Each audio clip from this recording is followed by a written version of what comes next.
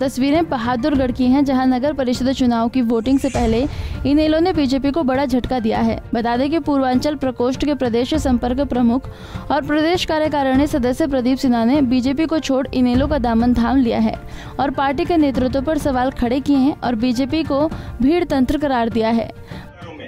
काम कर रही है टीम, उसको उपेक्षा मिल रही है भारतीय जनता पार्टी से, जहाँ गोयन दर्जा का व्यवहार किया जाता है। कोई उसको समझता नहीं कुछ उसको। बस यूज़ एंड थ्रू भीड़ के भीड़ तंत्र समझता कि भीड़ को बुला लो और उसके बाद से रैली के बाद उसको भूल जाते हैं। बता दें कि प्रदीप सिन्हा को इनेलो पार्टी के प्रदेश अध्यक्ष नफे राठी ने पार्टी का पटका पहनाकर उनका स्वागत किया और कहा कि पार्टी को उनके आने से प्रदेश में मजबूती मिलेगी और साथ ही नगर परिषद चुनाव में इनेलो प्रत्याशी की जीत होगी। इस दौरान उन्होंने मीडिया से रूबरू होते हुए प्रदेश पर कटाक्ष किया और कहा कि कांग्रेस का तो बंटाधार हो चुका है। आने वाले समय में कांग्रेस नेताओं के बीच की तल्ख और बढ़ने जा रही है।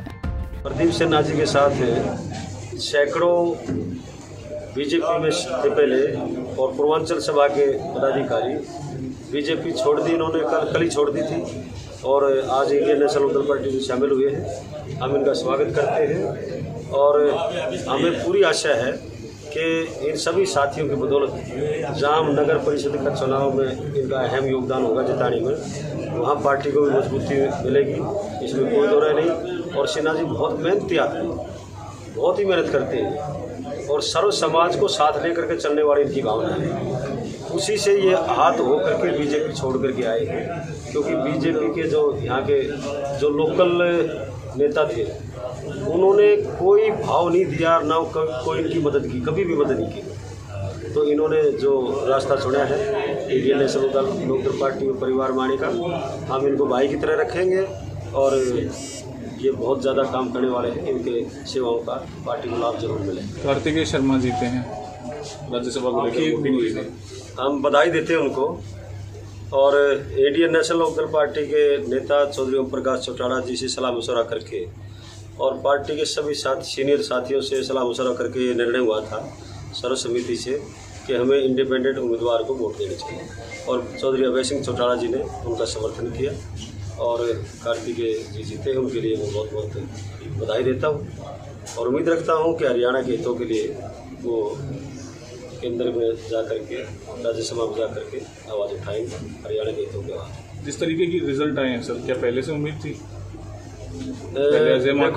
ये ये ये शंका तो ज़ाहिर की जा रही थी शंका तो ज़ाहिर की जा रही थी कि कांग्रेस की तरफ़ से गड़बड़ होगी और वो होगी ये तो पहले से चौधरी अभय सिंह चौटाला जी तो पहले शंका व्यक्त कर रहे थे कि कांग्रेस वाले गड़बड़ करेंगे क्योंकि कांग्रेस में कई तरह के मनमुटाव हैं आपस में।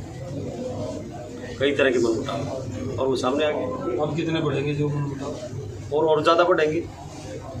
उससे ज़्यादा बढ़ेंगे। उससे ज़्यादा मनमुटाव बढ़ेंगे। कांग्रेस का तो वैसे भी बंटाईदार हो गया है। राज्यसभा चुनाव को लेकर इनेलो प्रदेश अध्यक्ष नफे सिंह राठी ने कहा कि इनेलो के एक वोट ने उनकी जीत में अहम भूमिका निभाई है। नफे सिंह राठी ने उम्मीद जताई है कि कार्तिकेय शर्मा हरियाणा प्रदेश के लिए बहुत बेहतर काम करेंगे और राज्यसभा में हरियाणा के लोगों की आवाज़ को बुलंद करेंगे। साथ ही उन्होंने कांग्रेस पर निशाना साधते हुए कहा कि उन्हें पहले से ही उम्मीद थी कि कांग्रेस कुछ न कुछ गड़बड़ करेगी, जो चुनाव के परिणाम बदलेगी और हुआ भी ऐसा ही। उन्होंने कहा कि कांग्रेस का तो बंटाधार हो चुका है, आने वाले समय में कांग्रेस नेताओं के बीच की तल्ख और बढ़ने जा रही है। इस दौरान उन्होंने प्रदीप सिन्हा को लेकर कहा कि निकाय चुनाव से पहले प्रदीप सिन्हा के बीजेपी को अलविदा कहने से बीजेपी को नुकसान और इनेलो को काफ़ी फ़ायदा मिल सकता है। पंजाब केसरी टीवी के लिए बहादुरगढ़ से प्रवीण कुमार धनखड़ की रिपोर्ट। हमसे जुड़े रहने के लिए हमारे YouTube चैनल को सब्सक्राइब करें और नई वीडियो की नोटिफिकेशन के लिए बेल आइकॉन को दबाएँ। अगर आप ये वीडियो Facebook पर देख रहे हैं तो लाइक ज़रूर करें और ज़्यादा से ज़्यादा शेयर करें। धन्यवाद।